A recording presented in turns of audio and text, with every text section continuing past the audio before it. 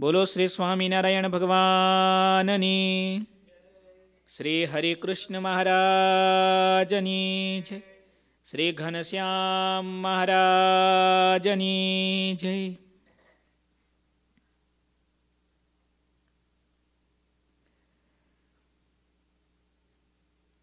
કથા સાંભળનારા બધા જ ભક્તોને ખૂબ ભાવથી જય શ્રી સ્વામિનારાયણ. શ્રી હરિચરિત્રામૃત સાગર, પૂર આઠમું, તરંગ ઓગણપચાસમું, સદગુરુ આધારાનંદ સ્વામી, આ તરંગમાં ભગવાન શ્રીહરિ વડતાલ પધાર્યા છે. ઉત્સવ કરવા માટે ભક્તો પાસે સંમતિ લીધી છે અને સત્સંગના દેશ દેશના વસતા ભક્તો માટે પત્ર લખ્યો છે. આ પ્રસંગનું આ તરંગમાં વર્ણન કરે છે. શ્રી સહજાનંદ સ્વામી કો બાપુજી મુખી કર ઝોર લે ગયે નિજ ભુવન પ્રતિ, ઉતારા દિયે તે ઠોર. શ્રી સહજાનંદ સ્વામી કો, બાપુજી મુખી કર જોર. ભગવાન શ્રી સહજાનંદ સ્વામી વડતાલ પધાર્યા છે. શ્રી હરિને વડતાલના મુખી બાપુજી ભાઈ હાથ જોડી વિનંતી કરીને પોતાને ઘેર લઈ ગયા. ત્યાં ઉતારો કરાવ્યો. પલંગ દિયે બિછાઈ કે સરસ મજાનો પલંગ પાથર્યો. બેઠે શ્રી મહારાજ. ભગવાન શ્રીહરિ એની પ્રાર્થના સાંભળી એના ઉપર બિરાજમાન થયા. ઉતારા દિયે સંત નૃપકુ. શીઘ્ર કરી કેવાજ સંતો ભક્તોને ઉતારા કરાવ્યા. જે દરબારો ભક્તોના ઘોડાઓ હતા, એ ઘોડાને પણ સારી રીતે બંધાવ્યા. વિક્રમ સંવત અઢારસો બાસઠની સાલ હતી. ચૈત્ર સુદ નવમી એટલે કે રામનવમીનો ઉત્સવ વડતાલમાં કરવો છે એવું વિચારીને શ્રીહરિ વડતાલ આવ્યા હતા. જાણી જોઈને પાંચ દિવસ અગાઉ આવ્યા છે, કારણ કે મહારાજને મોટો સમયો કરવો છે. આજની આ વાત ખૂબ કામ લાગે એવી છે. ધ્યાનથી સાંભળજો. એટલે શ્રીહરિએ નક્કી કર્યું, બધા હરિભક્તોને બોલાવવા માટે વિચાર કર્યો. પછી મયારામ ભટ્ટને પૂછીને, સમયો કરવાનું મનમાં નિર્ધાર્યું? ગામના મુખી પટેલ કહેવાતા હતા, તે સૌને બોલાવ્યા. સુંદર પગે અને જોબન પગે આ બંને ભાઈઓને બોલાવ્યા. નારાયણગીરી ગોસાઈને સારા વિપ્ર બુદ્ધિમાન વનમાળી હતા, તેમને બોલાવ્યા. ગામમાં એક મુખ્ય વણિક હતા, તેને પણ ભગવાન શ્રીહરિએ બોલાવ્યા. સહુ આવ્યા ત્યારે શ્રીહરિએ તે ગામના આગેવાનો આગળ વાત કરી. ગામના બધા ગામના મુખી છે, મુખ્ય હરિભક્તો છે, મુખ્ય બુદ્ધિશાળી કહેવાતા બ્રાહ્મણ વગેરે તમામ જ્ઞાતિના ભક્તોને ભેગા કર્યા આગેવાનોને અને હવે મહારાજ વાત કરે છે. શ્રીજી મહારાજની આ નાની વાત, કોઈ પણ સારું કાર્ય કરવા માટે શું કરવું જોઈએ દાદા? સફળતાની ચાવી જેને કહેવાય ને, એ આ છે. હું ઘણીવાર કહું છું, આ એવા શાસ્ત્રો છે. આમાં બધું છે. નીતિ છે, ધર્મ છે, ભક્તિ છે, જ્ઞાન છે, જીવન જીવવાની રીત છે, કલ્યાણ પામવાની રીત પણ છે. ઉત્સવ કરવા માટે, આયોજન કરવા માટે, મેનેજમેન્ટ કરવા માટે શું કરવું પડે? ભગવાન છે. કરતુમ, અકર્તુમ, અન્યથા કરતુમ સમર્થ છે. છતાં શું કર્યું? જો બધાને ભેગા કર્યા. હવે મહારાજ વાત કેવી સરસ કરે છે. બધા આગેવાનો આગળ શ્રીહરિએ વાત કરી. જો તમે દેહની સેવા કરીને મદદ કરો ને, તો અમે અહીંયા વડતાલમાં એક સમયો કરવા ઈચ્છીએ છીએ. મહારાજે શું સપોર્ટ માગ્યો? બસ તમે ખાલી શરીરથી હાજર રહેજો. જો બધા આગેવાનોની ઈચ્છા હોય તો સમયો સારો થાય. સબકા સાથ સબકા વિકાસ નરેન્દ્રભાઈ મોદીજીએ આપેલું આ સૂત્ર ખરેખર અદ્ભુત છે. એ માણસની કામ કરવાની રીતિ પણ અદ્ભુત છે. આઠસો આઠસો વર્ષના કાટમાળને એ માણસે થોડા વર્ષોમાં કેવી રીતે કાઢ્યો આપણે જોઈ શકીએ છીએ. સબકા સાથ, સબકા વિકાસ. આપણા જીવનના સુખ અને દુઃખના આપણે જ જવાબદાર છીએ. દરેક જગ્યાએ દેશની વાત હોય, પરિવારની વાત હોય, ધર્મની વાત હોય કે મંદિરની વાત હોય, માટે આપણે હંમેશા કોઈ પણ કાર્ય કરીએ, એમાં આપણી આસપાસ જે સંતો ભક્તો હોય, એને સંમત કરી, સાથે રાખી, પછી જો આગળ વધીએ ને, તેમાં બધાનો વિકાસ થાય. હજી મહારાજ કેવી માર્મિક વાત કરે છે, જુઓ. મરજી બિન જન સુખી ન હોય, તેહી કર તુમકુ પૂછત હે સોએ. The key of happiness the key of success શું છે? સૌની ઈચ્છા ન હોય તો લોકોને સુખ ન થાય. જે કાર્યમાં બધા સંમત ન હોય, એ કાર્યમાં બધા સુખી ન થાય. સીધું ગણિત છે કે નહીં? મરજી બેન જન સુખી ન હોય તેહી કર તુમકુ પૂછત હે સોય હમ હે સાધુ, તુમ હો જમીદારા અમે તો સાધુ છીએ. અમારે તો સંકલ્પ છે ઉત્સવ કરવાનો. પણ ગામના જમીનદારો તો બધા તમે છો.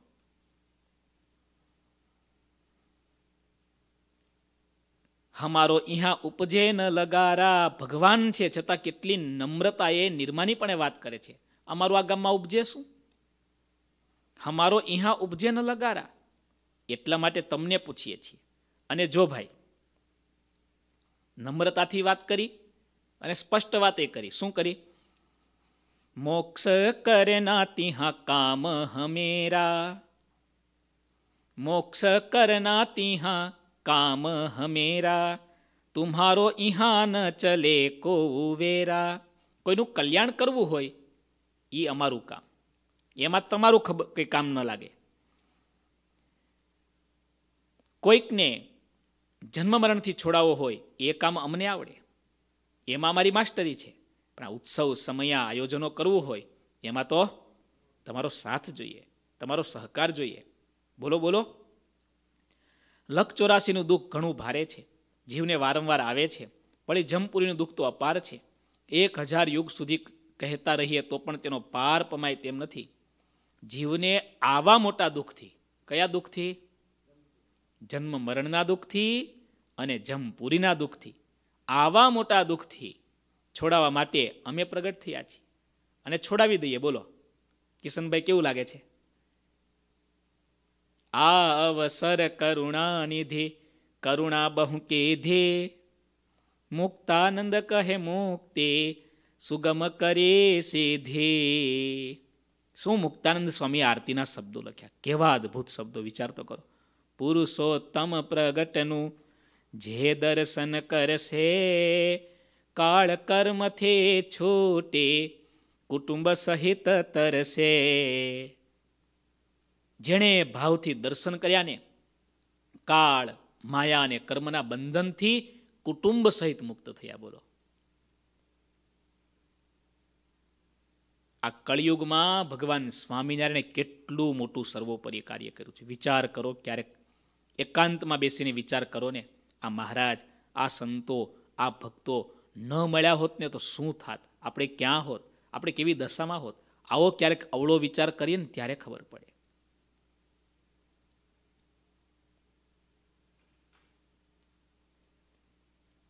શ્રીજી મહારાજે આવી રીતે વાત કરી, સમયા કરવાનું પ્રયોજન પણ અમારું એટલું જ છે જીવોનો ઉદ્ધાર કરવો છે. અને દ્રઢ કરીને ધર્મ રાખવો છે અને રખાવો છે, એટલું જ કરવું છે. માટે તમે બધા બોલો, હવે શ્રીજી મહારાજ ગામના આગેવાન ભક્તો આગળ વાત કરે છે કે અમારે ઉત્સવ તો કરવો છે, શા માટે ઉત્સવ કરવો છે? અમારું પ્રયોજન શું છે? અમારું મિશન શું છે? અમારું હેતુ શું છે? જાજા માણસોને ભેગા કરવા એ વાહ વાહ કરાવી એ વટ પાડી દેવો એ અરે લોકોમાં વાતો થાય કે આવડો મોટો સમયો કરે એ ના. અમારું મિશન શું છે? જીવનો ઉદ્ધાર કરવો છે. કેવી રીતે કરવો છે? ધર્મ પળાવીને કરવો છે. જોયું? હવે મહારાજ સરસ વાત કરે છે. એક એક શબ્દ ધ્યાનથી સાંભળજો. લોકો ધર્મે રહિત જે ભક્તિ કરે છે ને, તે તેટલી સફળ થતી નથી.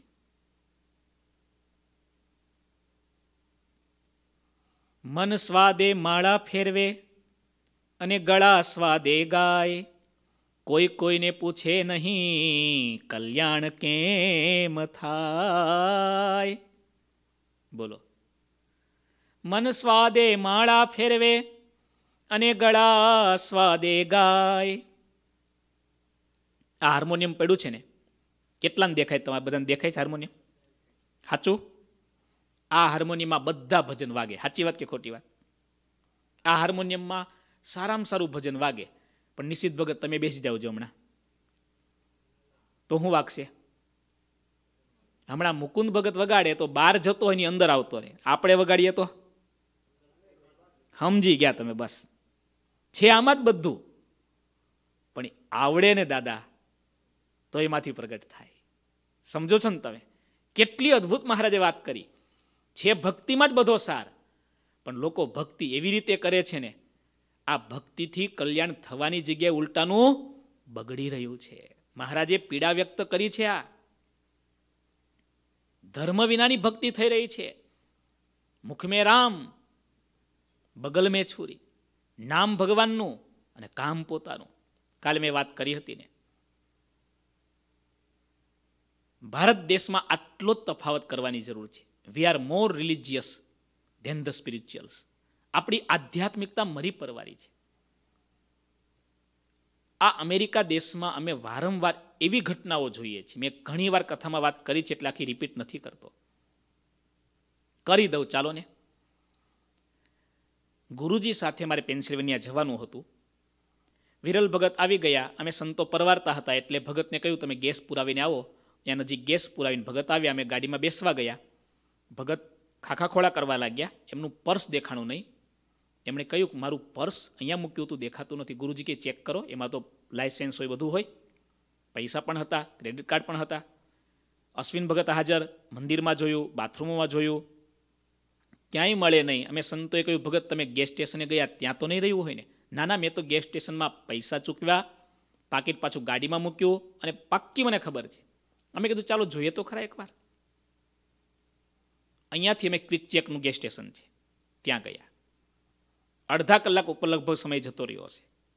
ત્યાં એક બ્લેક પીપલ માણસ ગેસ ભરવાનું કામ કરે. એટલે ગાડીમાંથી જ ગુરુજી પૂછ્યું, આજ હતો? તે કે, હા આ જ માણસ હતો સવારે. એકવાર તો આ માણસને જોતાની સાથે આપણને શું થાય?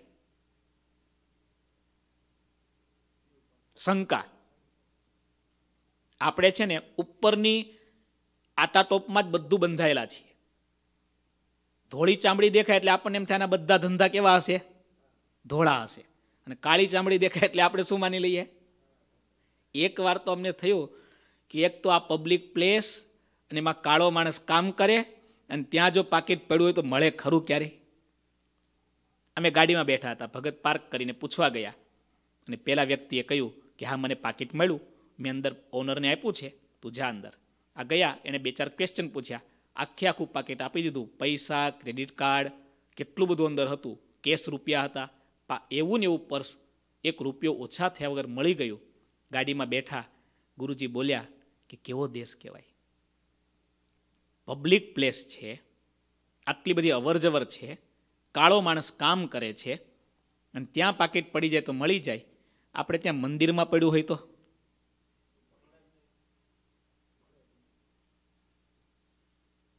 ક્યાં તફાવત છે, દાદા? આપણે ત્યાં વાતો જાદી છે. વાસ્તવિકતામાં જે ધર્મનું સ્વરૂપ છે ને, એ બહુ ઓછું થઈ ગયું છે. પ્રામાણિકતા ઓનેસ્ટી અહીંનો ગરીબ માણસ પણ ઈમાનદાર દેખાય. અને આપણે ત્યાં કહેવાતા ધર્માચાર્યો પણ, મારે દુઃખ સાથે કહેવું પડ્યા છે, કહેવાતા ધર્મની ગાદી ઉપર બેઠેલા ધર્માચાર્યો પણ આગળ અજ લગાડવાની જરૂર હોય. તમે તમારા સ્વાર્થમાં એટલા બધા ડૂબ્યા છો લોકોના ગળા કાપવા તૈયાર થયા છો. એટલા માટે વાત કરવી પડે છે, કેવી અદ્ભુત મહારાજની આ પીડા છે. આ પીડાને માટે જ ભગવાન પ્રગટ થયા હતા. આટલું કામ કરવા માટે જ. સાંભળો, લોકો ધર્મેશ રહિત, લોકો, મહારાજ બોલે છે, લોકો ધર્મે રહિત જે ભક્તિ કરે છે, તે તેટલી સફળ થતી નથી. ધર્મ પાળ્યા વિના તીર્થયાત્રા કરે, કે કરોડ વ્રત કરે, પણ તેને, તેના યથાર્થ રૂપ ફળની પ્રાપ્તિ થતી નથી લો. કંડારી ગુરુકુલમાં એક સંઘ હરિભક્તોનો આવ્યો હશે. ગુરુકુલમાં ઉતારો કર્યો. એટલે ગુરુજી હરિભક્તોને કહ્યું, તમે છેક આટલે દૂરથી ચાલતા ચાલતા આવો છો, તો રસ્તામાં જમવાનું એ બધું અગવડ નથી પડતું તમને? અને ત્યારે પેલા સંઘની અંદર રહેલા પદયાત્રિકો હતા, કેટલે દૂરથી યાત્રા કરવા નીકળેલા બધા બોલ્યા કે ગુરુજી, હવે તો બહુ સારી સુવિધા થઈ ગઈ. રોડ ઉપર સારામાં સારી હોટેલો ગમે ત્યાં મળી રહે. એટલે ખાવા પીવાની તકલીફ ક્યાંય પડે એવું છે? હવે જગતનું બજારી, બજારનું, હોટલોનું ગમે તેવું ખાય અને તીર્થયાત્રા કરવી, શું લાગે છે તીર્થયાત્રા ફળે?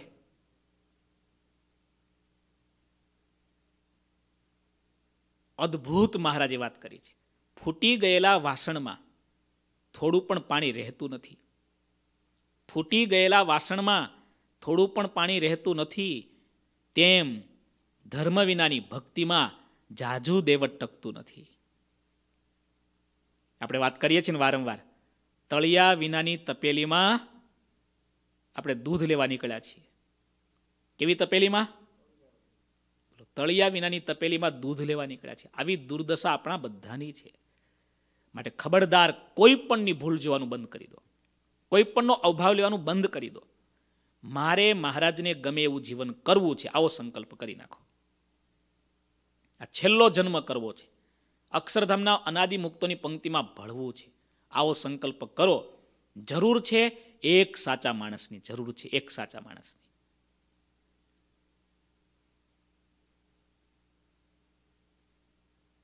એક મહાપુરુષ, એક સાચા સંત, એક સાચા ભક્ત પ્રગટ થાય ને એના યોગ્ય કરીને હજારો લાખો ને કરોડો થવાના. કેવી અદ્ભુત મહારાજે વાત કરી. જો આપણે ઘણી વાર નથી કરતા, એટલા બધા પ્રસંગો યાદ આવે, પણ કેવી રીતે હજી આપણે કથા આગળ વધારવાની છે. બસ આ બધી વાતો આપણા જીવનમાં અપનાવવાની છે. આપણા જીવનમાં ધાર્મિકતા આવે. સારી વાત છે. આપણા જીવનમાં ધર્મે સહિત ભક્તિ બંનેની જરૂર છે. ભક્તિ પણ જોઈએ, ધર્મ પણ જોઈએ. શ્રીજી મહારાજનો આટલો જ કોન્સેપ્ટ હતો. ધર્મે સહિત ભક્તિ કરવામાં આવે ત્યાં ભગવાન પ્રગટ થાય છે. એની ભગવાન સહાય કરે છે. એને ભગવાન આલોકમાં સફળ કરે છે, સુખી કરે છે અને પરલોકમાં પરમપદની પ્રાપ્તિ કરાવે છે. અને જો એ વાસણને ભાગવતજીમાં પણ આ દ્રષ્ટાંત આપ્યું. ભિન્ન ભાંડાત યથા પયહ વાસણનું તળિયું કાણું હોય, તેમાંથી પાણી સ્રવી જાય, એવી રીતે ધર્મ વિનાની ભક્તિ એ સ્રવી જાય છે. જો એ વાસણને સાંધવામાં ન આવે જો તે વાસણને સાંધવામાં આવે તો પાણી રહે. સાંધ્યા વિના તો એકલો ક્લેશ જ છે. તે રીતે ધર્મને રાખ્યા સિવાય કોઈ પણ મનુષ્ય જે જે કામ કરે છે તે સફળ થતું નથી. આ રહસ્ય અને સિદ્ધાંતની વાત છે. કેવી છે આ? આ રહસ્ય અને સિદ્ધાંતની વાત છે, બોલો.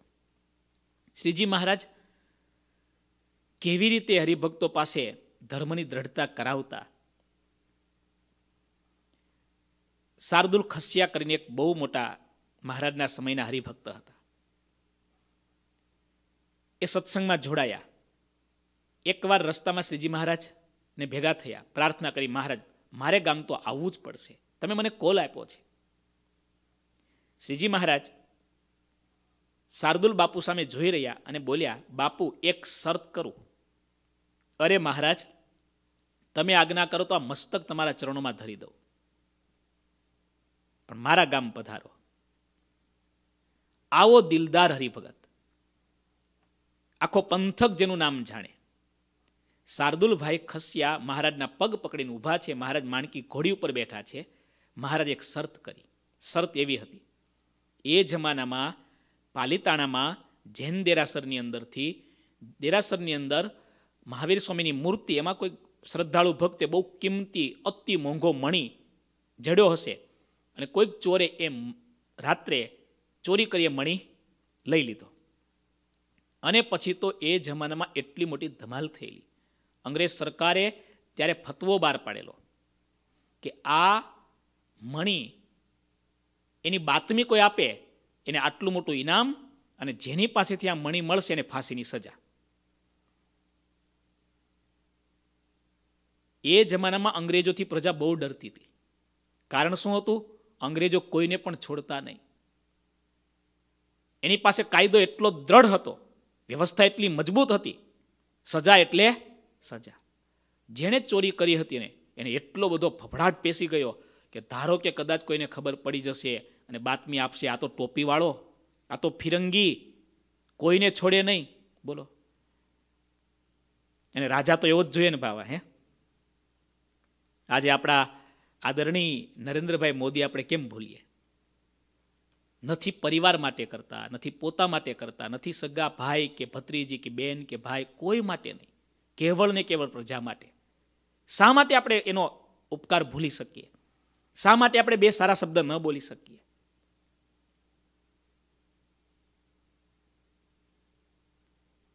આજે આતંકવાદ સામે લડી અને સૌથી મોટો ભય તો પોતામાંથી લઈ રહ્યા છે. એના માથે ભય નથી. તેમ છતાંય માણસે મુઠ્ઠીમાં મોતને પકડી રાખ્યું છે. મારું જે થાય તે થાય. મારા પરિવારનું જે થાય તે થાય. પણ મારા દેશનું અને દેશવાસીનું હિત જ થવું જોઈએ. આવી ભાવના સ્પષ્ટ દેખાય છે ને આપણને. અંગ્રેજ સરકારથી એવી ફફડી ગઈ. એ વ્યક્તિ એટલે એણે શું કર્યું? એને શાર્દુલભાઈ ખસિયા સાથે મિત્રતા. ખસિયા બાપુને એક દિવસ એકાંતમાં વાત કરી, રડતા રડતા, અને કહ્યું હું આ મણી તમને મફતમાં આપી દઉં. આટલો મોંઘો મણી મફતમાં મળે કોને ન ગમે? શાર્દુલ બાપુએ લઈ લીધું અને કીધું, તું ચિંતા ના કર. મારે, મારા સુધી કોઈની હિંમત નથી આવવાની. એટલે શાર્દુલ બાપુએ પોતાના ઘરની અંદર કોઈક જગ્યાએ ખૂણામાં મૂકી દીધો. પછી સત્સંગમાં જોડાયા. પછી હરિભગત થયા. આ ઘટનાને વર્ષો થયા. અંગ્રેજ સરકારની શોધ તો ચાલુ જ હતી. ખૂણા ખૂણા સુધી શોધ ચાલુ હતી કે મણી મળે કેમ નહીં. અંગ્રેજોની આ આ સિસ્ટમ વર્ષો પહેલાંથી ચાલુ છે હમણાં તમે વિચારો, આ અમેરિકામાં ટ્વિન ટાવર એટેક થયેલો કેટલા વર્ષો પછી, પણ આ લોકોએ ખોળી ખોળી ખોળીને કેવી રીતે ખોળી ખોળીને ઓપરેશન પૂરું કર્યું, ત્યાં સુધી આ લોકો ઝેપા નહીં. રાજધર્મ છે દાદા. રાજા જો ઉદાર થાય, રાજા જો દયાળુ થાય રાજા માટે દયા અને દંડ આ બંને રાખવાના કયા શાસ્ત્રોએ? એમાં પણ રાજા માટે દંડ મુખ્ય છે. કારણ કે રાજા દંડ રાખે છે ત્યારે પ્રજા ધર્મના માર્ગે સારી રીતે વ્યવહાર કરી શકે છે. એટલે શાર્દુલ બાપુ પાસે આ મણી પડેલો. કોઈ જાણીને પરિવારની કોઈ વ્યક્તિને ખબર નહીં. શ્રીજી મહારાજ તો અંતર્યામી. મહારાજના પગ એણે પકડ્યા છે. મહારાજે ત્રાસી નજરથી વાત કરી. શાર્દુલ બાપુ, તમે મારા ભગત થયા છો. અમારી કંઠી, અમારો ચાંદલો તમારા કપાળમાં છે. અને તમારા ઘરમાં પેલો મણી પડ્યો છે. એ તમે પાછો અંગ્રેજ સરકારને આપી દો, તો તમારા ઘરે આવીએ, વિચારો. વીજળી પડી માથે, હા? આવી શરત મૂકી બોલો. આપવા જાય તો શું થાય?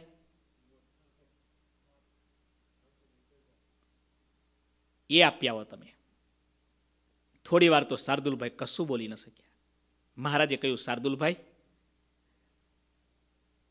આ એક જ શરતે અમે તમારા ઘરે આવશું.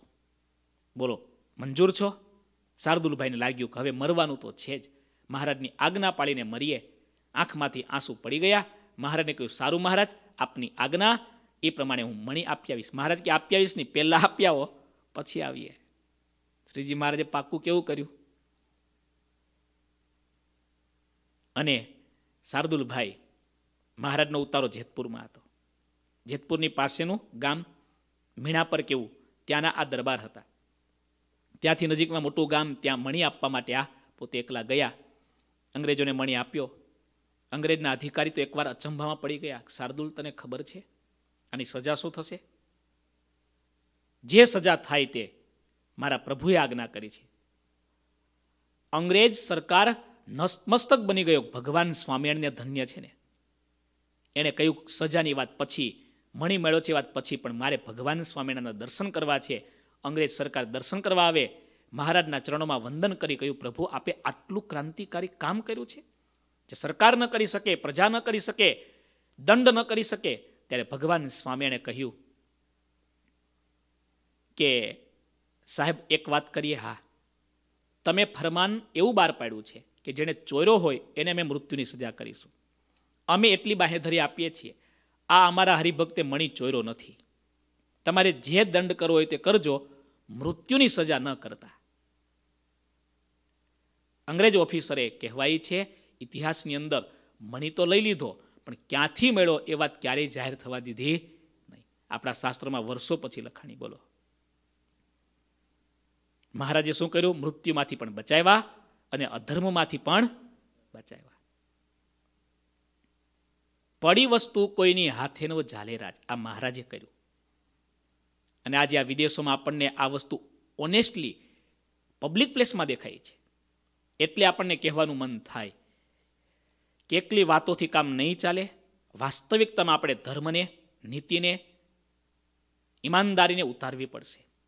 શ્રીજી મહારાજ એટલા માટે કહે છે, ફૂટી ગયેલા વાસણમાં પાણી ટકતું નથી, એમ ધર્મ વિનાની ભક્તિમાં દૈવત હોતું નથી. એને સાંધવામાં આવે તો પાણી રહે છે. એમ જ્યાં જ્યાં આપણા ધર્મના કિનારા તૂટેલા છે, એને સવળા કરી દઈએ. બોલવામાં ખરાબ હોય, જોવામાં ખરાબ હોય, સાંભળવામાં ખરાબ હોય, આપણે ધર્મની મર્યાદા તોડતા હોય. બરાબર? ભદ્રમ કર્ણે ભી શૃણુયામ દેવાહા, ભદ્રમ પશ્યે માક્ષ બિરજત્રાહા. આપણા વેદોમાં પ્રાર્થના કરી. અમે આંખથી કલ્યાણ થાય એવું જ જોઈએ. કાનથી કલ્યાણ થાય એવું જ સાંભળીએ. શું લાગે છે? કે આજે ધર્મના સીમાડો સરખા કરવાની જરૂર છે એવું નથી લાગતું? આ રહસ્યની વાત છે, આ સિદ્ધાંતની વાત છે. હજી મહારાજ જબરજસ્ત વાતો કરે છે આજે તો. કોઈ પણ મનુષ્ય જો ધર્મ પ્રમાણે ચાલતો હોય, તો તેને તેમાં ક્યારેય દુઃખ આવતું નથી. આનો બીજો અર્થ એવો થાય કે જીવનમાં જેટલું દુઃખ આવે છે, એ ધર્મની મર્યાદા ક્યાંક તોડી છે, એનું જ પરિણામ છે. વાત સાચી ખોટી? વચનામૃત ગઢપુર પ્રથમનું ચોત્રીસમું. શ્રીજી મહારાજ બોલ્યા, ભગવાનની આજ્ઞા પાળે છે એટલું સુખ છે અને લોપે છે એટલું દુઃખ છે. અરે મહારાજ એવું બોલ્યા, ભગવાનની કરેલી આજ્ઞાને જીવ પાળે છે, ત્યારે ભગવાનને જેટલો આનંદ છે એટલો આનંદ એના અંતરમાં રહી, બોલો.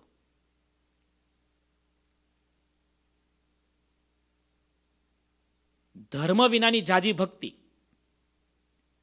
કેટલાના ગળા કાપે, કેટલું જગતમાં આઘું પાછું કરે કેટલાને મૂંડી નાખે અને પછી મંદિરમાં થાળ આપી દે, પછી મંદિરમાં રસોઈ કરી દે, સાધુને ધોતિયા ઉઢાડી દે, આ ભક્તિ કામ નહીં લાગે.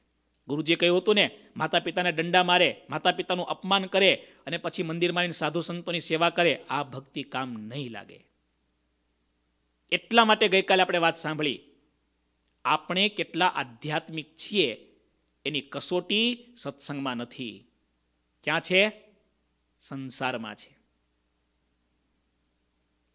આપણે ખરેખર સાચા સત્સંગી છીએ કે નહીં, એની કસોટી આ મંદિરમાં બેસીને નથી. એની ખરી કસોટી જગતના વ્યવહાર કરવાથી આપણી થાય છે. સામેનો વ્યક્તિ ગમે તેમ બોલે, ગમે તેમ કરે, પણ તેમ છતાં આપણે આપણી મર્યાદામાં રહીએ ને, ત્યારે શ્રીજી મહારાજ રાજી થાય, હા. ત્યારે મહારાજને એમ થાય મારો માણસ છે. આની રક્ષા મારે હવે કરવી પડશે. બાકી દુનિયામાં તો ધોબીએ ધોબી. સમજો ને ધોબીએ ધોબીમાં એટલે. ખબર છે તમને, કિશનભાઈ? ના. એક બહુ સારા સંત રામાયણી હતા, સ્નાન કરવા માટે ગંગાજીમાં ગયા. એટલે સંત સ્નાન કરતા હતા, એમાં બાજુમાં એક ધોબી કપડાં ધોવે. સ્નાન કરીને સંત બહાર નીકળ્યા, આ ધોબી કપડાને ધોકાવે, પેલા ગંદા કપડાં, એના ગંદા છાંટા સંત ઉપર પડ્યા. એટલે સંતે કહ્યું, અરે ભાઈ હું સાધુ છું. સ્નાન કરીને બહાર નીકળ્યો છું. તું ધીમે ધીમે ધોકાવ. તારા ગંદા છાતા મને ઉડ્યા. મારે સ્નાન કરવું પડે છે. સંતે સરળતાથી વાત કરી. અને પેલા ધોબીએ, ધોબી તો જાતનો ધોબી જ હોય. કબાડ ભાષા, તોછડી ભાષા. બેફામ ગમે તેવા ગાળો અપશબ્દો બોલીને સંતનું અપમાન કરવા લાગ્યો. સાધુ સરળતાથી સમસમી રહ્યા, સાંભળતા રહ્યા. વૈકુંઠનાથ ભગવાન રામચંદ્રજીને દયાવી કે સવારના પહોરમાં એક સાચા સંતનું આવું અપમાન? ભગવાન સુદર્શન ચક્ર લઈને દોડ્યા કે તારી જાતના તારી જાતે જ મારી પત્નીને હેરાન કર્યા સાધુને છોડું નહીં આજે. ભગવાન રામચંદ્રજી સુદર્શન ચક્ર લઈને દોડ્યા, પણ થોડી વાર પછી પેલા સંતની ધીરજ ખૂટી ગઈ. અને સંતે કીધું કે તું સમજે શું તારે તારા મનમાં? હું સાધુ થયો એમ સમજે છે? જો બોલીશ ને તો તારા કરતા અને સાધુ એ પછી એના કરતા મોટી. આ નાળિયેર જેવડી આપે, સાધુ આમે તરબૂજ જેવડી આપે. ભગવાન રામચંદ્રજી નિરાશ થઈ ગયા. આ તો બંને ધોબીએ ધોબી છે. આમાં કોની રક્ષા કરું ને કોની ના કરું? સમજ્યા તમે? ભગવાન કોની રક્ષા કરશે? સાચા હશે, ધર્મનિષ્ઠ હશે, એની રક્ષા કરશે. યત્ર યોગેશ્વરો કૃષ્ણ યત્ર પાર્થો ધનુર્ધર તત્ર શ્રી વિજયો ભૂતિર ધ્રુવા નીતિર મતિર્મમ ગીતાજીનો સાતસો નંબરનો શ્લોક સૌથી છેલ્લામાં છેલ્લો શ્લોક ભગવાન શ્રી કૃષ્ણે પ્રતિજ્ઞા કરી ભગવાન વ્યાસ લખે છે જ્યાં ભગવાન છે ભગવાનના અર્જુન જેવા ભક્ત છે એટલે કે જ્યાં ભગવાન છે, ભગવાનના એકાંતિક સંત છે, એટલે કે ભગવાનને ભગવાનના સત્પુરુષના વચનોનું જ્યાં પાલન થાય છે, એવી જે જગ્યા છે, ત્યાં શ્રી વિજય, યશ, વિભૂતિ બધું જ ત્યાં છે, બધું જ ત્યાં છે. કોઈ પણ મનુષ્ય જો ધર્મ પ્રમાણે ચાલતો હોય, તો તેને તેમાં ક્યારેય દુઃખ આવતું નથી. તે ધર્મ આ પૃથ્વી ઉપર બે પ્રકારનો છે. એક લૌકિક ધર્મ એક અલૌકિક ધર્મ. થોડું ધ્યાનથી સાંભળજો. વર્ણાશ્રમનો જે ધર્મ છે તે લૌકિક કહેવાય છે. વર્ણાશ્રમના અનેક પ્રકારના ધાર્મિક કર્મ કરવામાં આવે, તો તે કરનારાને દેવલોકની પ્રાપ્તિ થાય છે.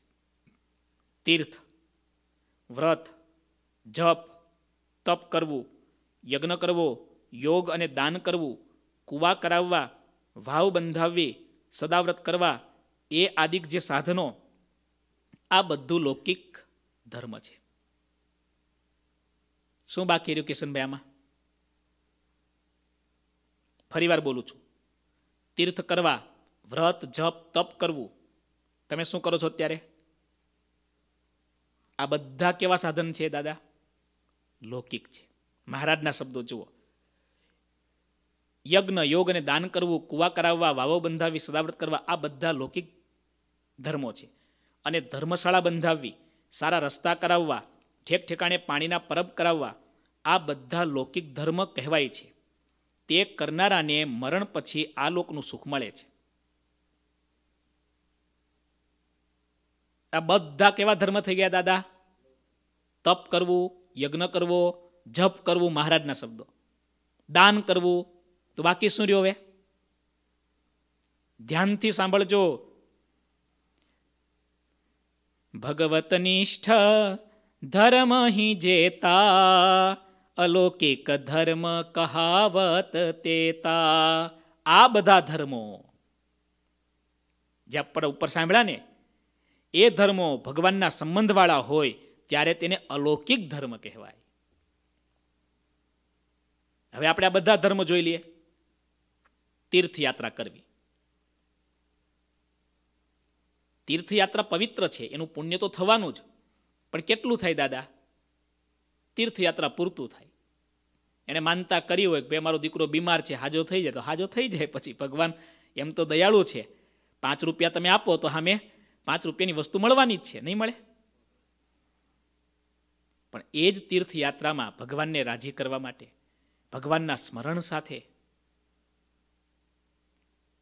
કોઈ પણ લૌકિક ઈચ્છા છોડીને જ્યારે કરવામાં આવે તીર્થયાત્રા કેવી બની જાય? અલૌકિક ધર્મ બની જાય. એ આ લોકમાં તો સુખી કરે, અક્ષરધામ સુધી એને પહોંચાડે, એવી બની જાય. બની જાય કે નહીં? જપ કરવું, બધા સાધન આવા છે. અરે, ધર્મશાળા કે વાવ કરાવવી, આપણે ત્યાં સત્ય ઘટના છે. અમદાવાદ પાસે અડાલજ નામનું ગામ, આ અડાલજ ગામની અંદર વાવ છે, આજે પણ છે. અમે ગયા છીએ દર્શન કરવા ઘણીવાર. તમે પણ ઇન્ડિયા જાઓ તો એકવાર જજો. જવા જેવી જગ્યા છે. આ અડાલજની વાવમાંથી શ્રીજી મહારાજ નીકળ્યા છે. રસ્તામાં સંતો, મહારાજ બધાને સ્નાન કરવાની ઈચ્છા થઈ એટલે અડાલજની વાવે આવ્યા. સ્નાન કરી મહારાજ નીકળ્યા. મહારાજ વસ્ત્ર પહેરે છે. એમાં મહારાજ પાસે નિષ્કુળાનંદ સ્વામી આવ્યા કે, મહારાજ, એક વાત કેવી છે? શું? આ વાવ કરાવનારી વ્યક્તિ કેટલી પવિત્ર હશે. એણે અહીંયા શિલાલેખ લખાયો છે. મહારાજ કેમ? સાધુ વાંચો તો. સંતોએ વાંચ્યો, મહારાજે સાંભળ્યો. વાવ બનાવનાર વ્યક્તિ મહારાણી ઋણાદેબાઈ એમણે પ્રતિજ્ઞા કરી, શિલાલેખ મૂક્યો હતો કે આ વાવ હું એટલા માટે બનાવું છું કે આમાં કોઈ ભગવાન, ભગવાનના સંત કે ભક્ત આવે અને આ જળ એના માટે વપરાય, ત્યારે હું એમ માનીશ કે મારું આ કાર્ય સફળ થયું.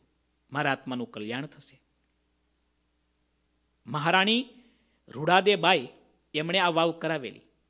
શા માટે કરાવેલી? મુસ્લિમોનું શાસન હતું. વિધર્મીઓના આક્રમણો થતા અને આ મહારાણી એના પતિ ઉપર આક્રમણ થયો. પતિ મરાયો. વિધર્મીઓએ આ સ્ત્રીને સાથે પરણવા માટેની દરખાસ્ત મૂકી. રાણીને ખબર પડી ગઈ. આ તો અસુરો છે. મારા ધર્મને ભ્રષ્ટ કરશે. બળજબરી કરશે. ના પાડું એના કરતાં વચ્ચેનો માર્ગ મારા મરતા પહેલા એક સારો માર્ગ કરી લઉં. સારું કામ કરીને મરી જાઉં.